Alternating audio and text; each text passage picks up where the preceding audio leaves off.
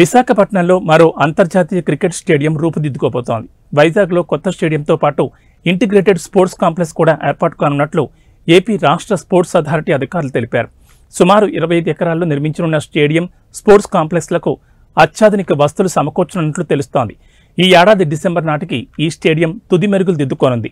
వైజాగ్లో ఇప్పటికే YSR cricket stadium ఉండగా మరో అతిపెద్ద అంతర్జాతీయ క్రికెట్ స్టేడియం త్వరలో అందుబాటులోకి రానుంది.